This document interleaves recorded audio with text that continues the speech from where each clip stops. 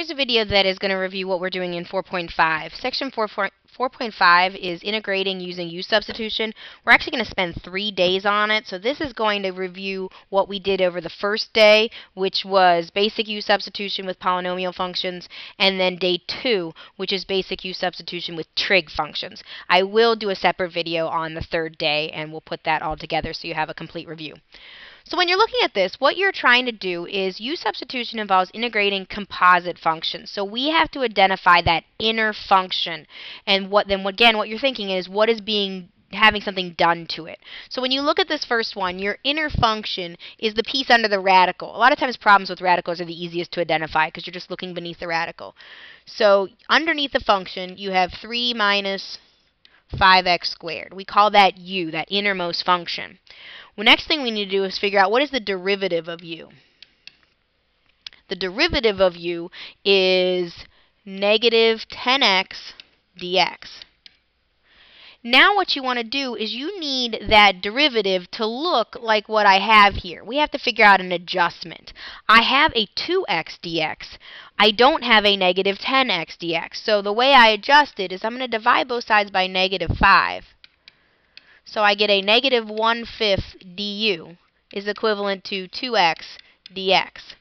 What this does is it allows me to replace that 2x dx with a negative 1 fifth du. So that we call that the adjustment piece. What am I doing? We had some perfect ones in class, but this is not perfect. So what am I doing to fix it?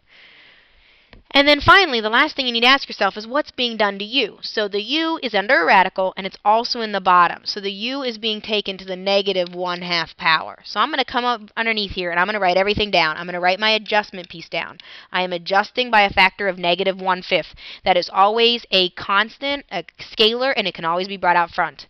And then I'm going to write down what's being done to the u. I am trying to integrate a u to the negative 1 half du. So I've replaced everything and made it u's. Now I integrate it, and all my integrations with these are going to be power rules. So power 1 greater than 1, negative 1 half is positive 1 half, times uh, 2. So I'm going to get 2 u to the 1 half when I integrate it. I still have to take my answer times negative a fifth.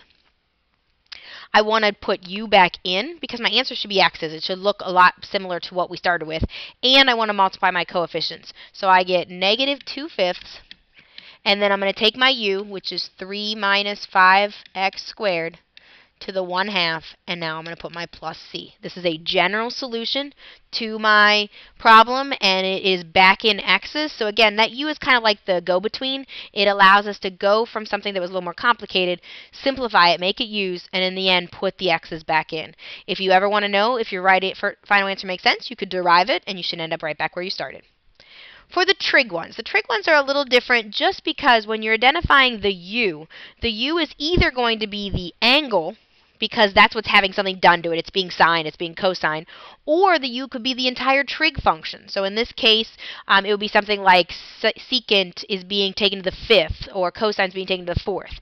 In this particular case, both of my u's for my trig one are actually the angle. Maybe I'll add another one here in a second so we can see a other type. But we're going to start with what I've got. What I have my u is, my u is my angle. My u is 4x squared. The derivative of that is 8x dx. And if you look, I have an x, which is good because I can't introduce a variable, but I don't have an 8. So I'm going to divide out this 8. So my adjustment is going to be a 1 8 and then when I say what's being done to the u, well, this is kind of a strange verb, but it's being secant tangented. I know that's not really a word, but that's what's going on. It's being the angle of secant, and it's also the angle of tangent. Now the good news is that's a known integral. When you're doing your trig, if you let u be the angle, you better be left with an integral that you know how to work with. The integral of secant tangent is secant, so I get 1 8th secant of u. I'm going to go back to my original problem and figure out what u is. So u is 4x squared. So my answer is 1 8th the secant of 4x squared. If you want, you can put in parentheses, kind of set it off, plus c. For the next problem, the next problem we're going back to basic polynomials, no trig in this one. Same process though, we want to identify the u, the inner piece. The inner piece for this one is 2x cubed minus 7. The derivative of that, power out front, power 1 less, is 6x squared. When you take a look what we've got, I've got an x squared, but I don't need that 6. So I'm going to divide that out, giving me a 1 sixth adjustment. So now when I go back to my problem, I know I'm going to put a 1 6. I always put the adjustment out front. Now I'm going to look and say what's being done to the u. The u is being taken to the 4 thirds power. I'm going to integrate it. Power 1 greater would be 7 thirds divided by 7 thirds. So I'm going to get 3 sevenths u to the 7 thirds. I'm also going to multiply by a sixth. So I'm going to reduce fractions a little bit. I get 1 over 2, so I get 1 14th. My u I'm going to put back in now is 2x to the third minus 7 to the 4 thirds plus c. If you want, you can put that entire thing above the 14. You could put that whole thing over 14 and then plus c. That would be fine as well.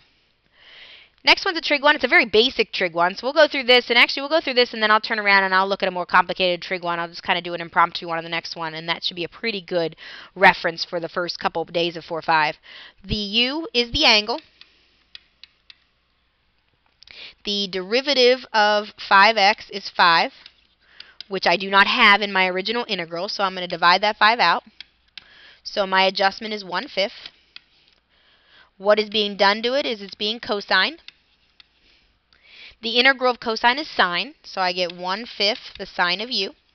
And then I'm going to go back and replace u with the 5x plus c. And again, if you're unsure, if you derive that, you would end up right back where you started.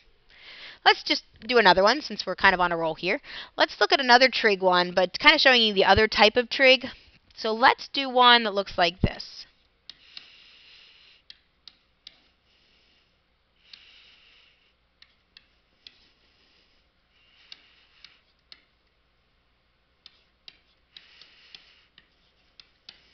Let's do this. So it's also a trig u sub. This is also something we do the second day in 4.5.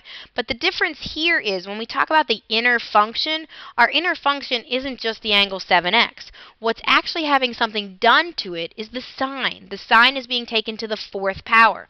So when I identify my u, I'm not just going to write the angle. I'm going to write the sine of 7x. That is that inner piece. It's being taken to the fourth power. Now when I derive that, derivative of sine is cosine, you also have to take the derivative of the angle. This is by far the most forgotten piece when people take tests and quizzes. So the derivative is 7, oh, I started to write sine, 7 cosine of 7x. So 7 cosine 7x. Now, if you take a look up above, you already have the cosine of 7x. That's not the problem. I just don't want the 7 there. So I'm going to divide out the 7 giving me 1 seventh as my adjustment. Now when I take a look at my original problem and I say what's being done to the u, well the u was sine of 7x. What's being done to it is being taken to the fourth power. So I have a u to the fourth du when I write it in terms of u's. This is a power rule. Even though you look and say, well, it's a trig problem. It's a trig problem, but when you break it down to what's being done to u, it's not being cosigned. It's not being sine. It's being taken to the fourth power. So I'm just going to do a power rule. u to the fifth over 5 don't forget about the 1 7th. So I'm going to get u to the 5th over 35, which gives me an answer when I put my u back in of the sine to the 5th of 7x over 35 plus c. And once again, if I wanted to derive that, I would have to use a chain rule, and I would get exactly what I had when I started with it that gives you a pretty good introduction and review of all of the U-sub stuff. The only thing that I didn't cover in this is the last day when we start talking about what do we do with boundaries and what do we do when we call it a complete U substitution. So I will save that for a future video.